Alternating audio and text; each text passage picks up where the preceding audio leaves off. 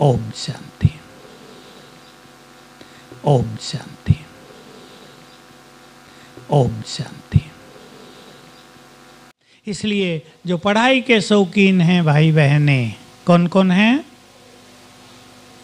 बस बहुत हो गए। कईयों को तो समझ में नहीं आया मैंने क्या पूछा। लौकिक पढ़ाई की बात नहीं कर रहे हैं।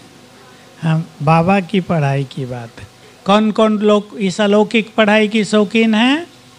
अब सबने हाथ उठा दिया। अब सुनो, बाबा की मूल्यों में इतने सुंदर सुंदर महावाक्य आते हैं, उन्हें नोट करो। मोटे अक्षरों में नोट करो घिच पिच नहीं। जब मुरली लिख लेते हैं ना, एक ही पेज पे साइड लिखनी, वो हम भी लिखते हैं। एक पेज पे दो महावाक्य, सुंदर डेकोरेट करो उन्हें। सुनाता हूँ अभी का महावाक्य।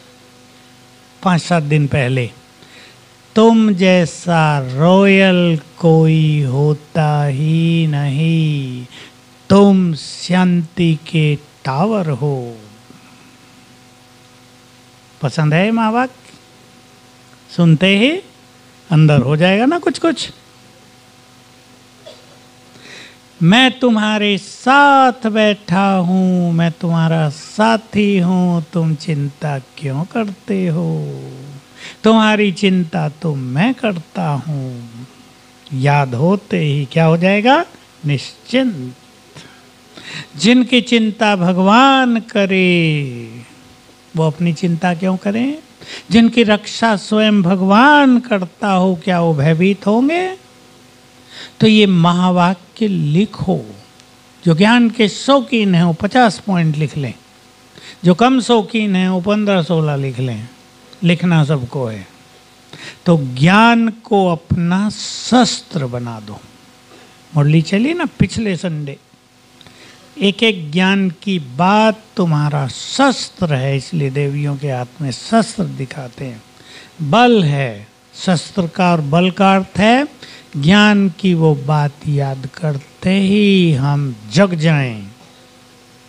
हमारी खुशी का पारा चढ़ जाए, हमारी चिंताएँ मिट जाएँ, हमारी स्थिति अचल अडोल हो जाए। इसको कहते हैं ज्ञान शस्त्र बन गया। कोई माया आ रही हो, वो पीछे हट जाए। ये है कि ज्ञान शस्त्र बन गया।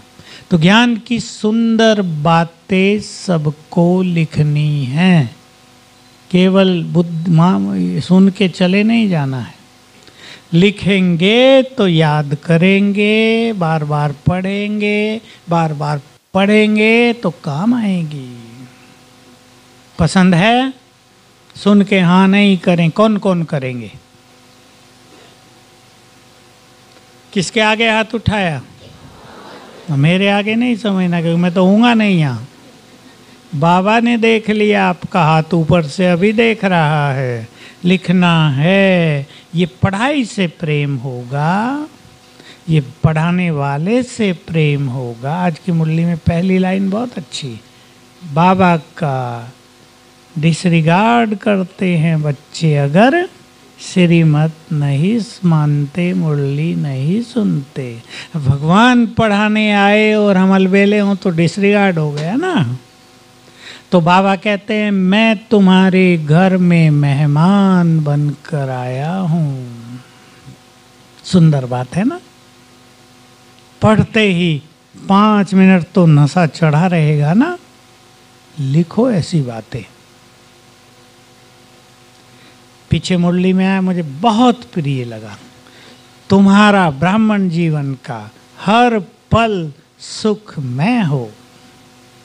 ऐसा अभ्यास करो, ऐसा पुरुषार्थ करो, सुखी हो जाओ, क्योंकि सुख बांटने हैं।